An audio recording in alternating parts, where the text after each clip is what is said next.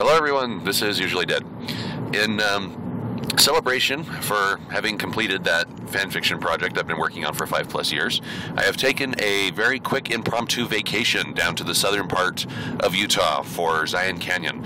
Uh, right now I am driving through Springdale. I'm not driving, I'm the passenger. It'd be very foolish to do this if I were driving. Um, this is Springdale, this is the uh, tourist town that is directly south of the entrance to the park, uh, Zion National Park. Now, um, Usually, I am not the type of person who likes to take pictures on vacations because I think it's really self indulgent and annoys people. But um, I have uh, frequently gotten requests hey, you do that, show this this thing and show us the pictures. And, and in my insatiable way of overcompensating for peer pressure, I'm going to take a bunch of videos and then I'm going to edit all of these clips together and put them up on YouTube later when I get back so you guys can see what I did. Yay, we're slowing down. So um, don't expect this video video here to have any kind of a timeline co uh, coherency or consistency or anything like that because these are just videos I took of the more impressive things that we saw and did over the whole time that we were uh, in, in the park during this visit and uh, I'm just going to kind of splice it together with no real rhyme or reason, so there's no real narrative to it, just a bunch of pieces all put together. And um, I think that's it. Yeah, so we're going to be hitting the entrance to the park real shortly.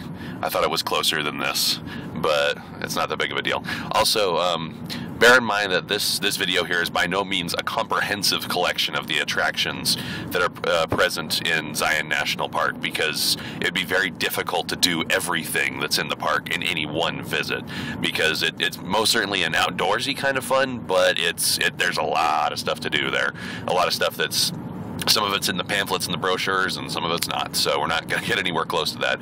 So um, yeah, I will. Uh, begin showing you guys, so keep watching.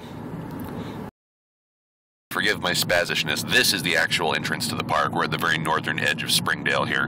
That over there is a giant theater that nobody in their right minds would ever go to. And this is the visitor center. If you want to fill up your water, this is where we'll go. Um, and then over there is the entrance to the park by car. This is the entrance to the park by foot.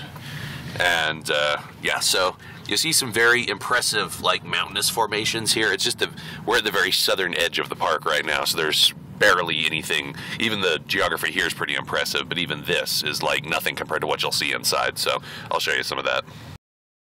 You're going to hear me sound breathless quite frequently during these videos because of all the hiking I'm going to do. But uh, stuff like this is uh, always the main attraction of coming to Zion Canyon. You've got these enormous towering sandstone peaks around you. And this right here, as is shown by this little plaque, is one of the first major attractions uh, in the southernmost part of the canyon called the Court of the Patriarchs.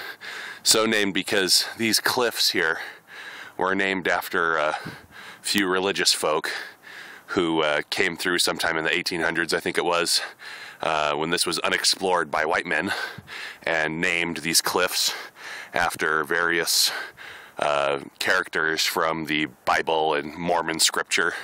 So this is the this is like when you come to Zion Canyon. This is typically the first major thing you see is these friggin' enormous things. And for for reference sake, I don't know if you can see it, but the road is just down there, kind of through those trees. The the hike up to this platform that I'm standing on right here is like just a like 100 yards worth of switchbacks just up from the road. It's not that far, so this is the first thing.